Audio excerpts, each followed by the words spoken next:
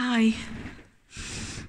Well, the doors have closed for the final time, and it only seems fitting for me to do my final video in the room that I've spent so much of my time. Oh, it's been a very emotional day. And those of us who were still left were upstairs and we've had a few glasses of fizz and we've played some bingo and we've had a really nice time. Um, I've had a lovely 19 years here. It's been an amazing experience. I've made some wonderful friends. Isn't this a beautiful room?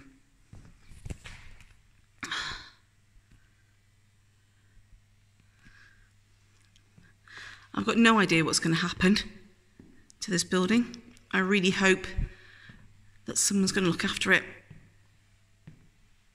It really deserves to be looked after.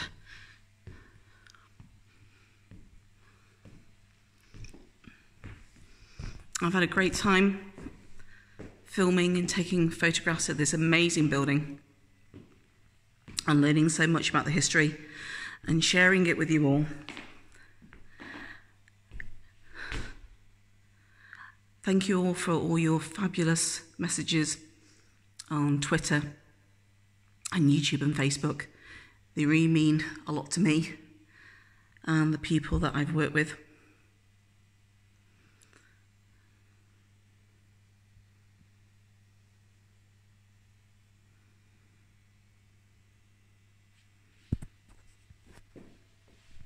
I don't really have the words today.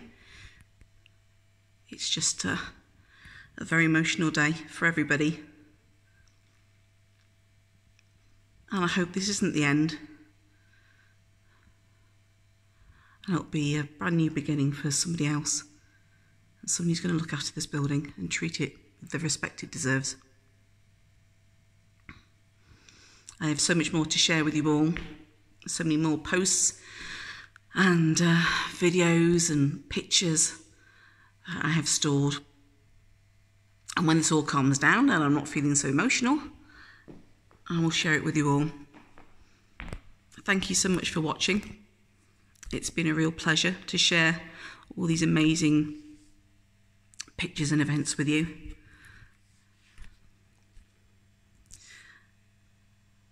Yeah, that's that's all I've got to say really. Um, I hope to see you soon. If you see me out and about in Chester, please say hello.